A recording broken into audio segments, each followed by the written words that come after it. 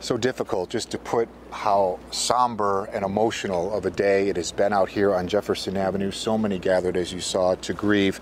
Pheben Kassahun joins us with more tonight on really only the start of the healing process for so many, Pheben. That's right, Jeff. More than 100 people attended Macedonia Baptist Church this afternoon for a prayer vigil at 4 p.m., which is actually less than a mile away from this Tops location that where 10 people tragically lost their lives yesterday afternoon. Now, I wanted to mention that Many state leaders were also in attendance to show us support and solidarity under one roof. That includes Governor Kathy Hochul, Mayor Byron Brown, Erie County Executive Mark Poloncarz, Senator Tim Kennedy, and even AG Letitia James.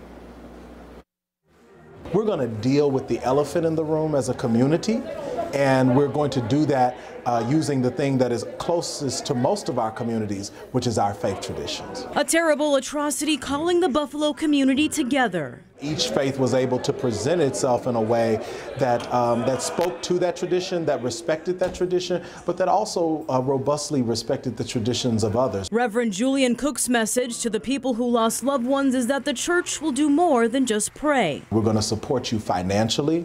Uh, I have had several people to offer gifts, and we will get those to those families.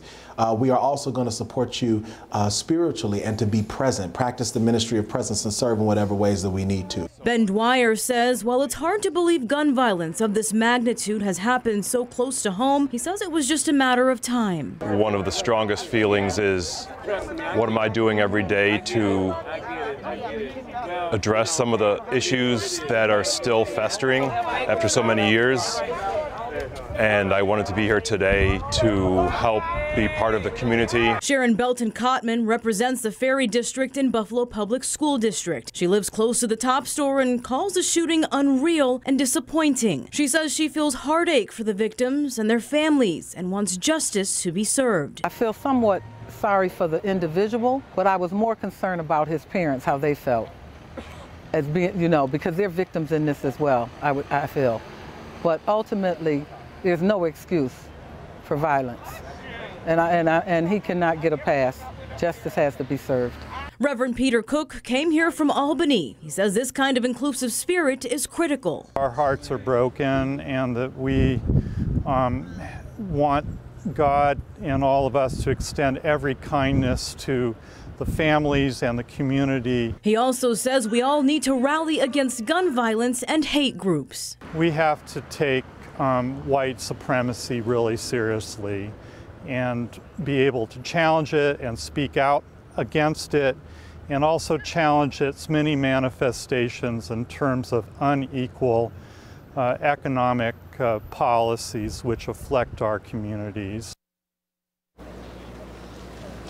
Now, one thing that did stick with me after my conversation with Sharon Belton Cottman was that she said that we need to remember that we need to monitor our tongue. She said that to say that our words have impact on others and they can harm and they can kill like they did in this situation. I also wanted to add that anyone who is in need of mental and emotional services can seek that for free at Macedonia Baptist Church all throughout the week and for the foreseeable future. Live in Buffalo, Pheben Kassahun, 7 News. All right, thank you, Pheben. So much healing here still ahead. So, a hateful act of terrorism by a lone gunman who came here to our community from hours away to carry out evil.